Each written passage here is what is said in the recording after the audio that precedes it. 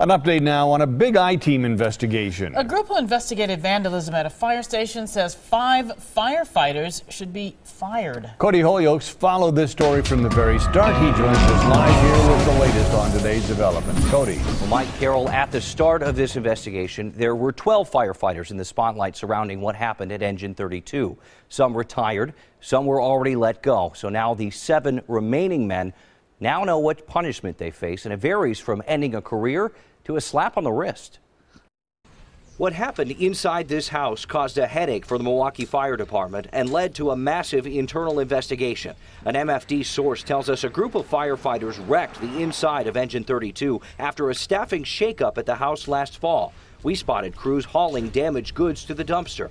Our source tells us some of the men even soiled equipment with bodily fluids. From a pool of 12 firefighters, a panel of investigators recommended five of them be fired. Two will walk away with a five day suspension. Another three veterans have already retired, and two probationary employees were also let go.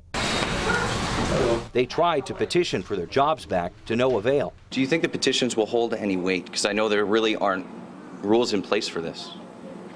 It's worth a shot. The five men recommended for firing will also try to appeal the decision. There's no place for that anywhere um, in any employment um, relationship, anywhere. Though political pressure against the firefighters in question has mounted since the allegations broke. Their terrible decision it has put a stain on the on the hardworking men and women of those who who fight fires on behalf of the city of Milwaukee.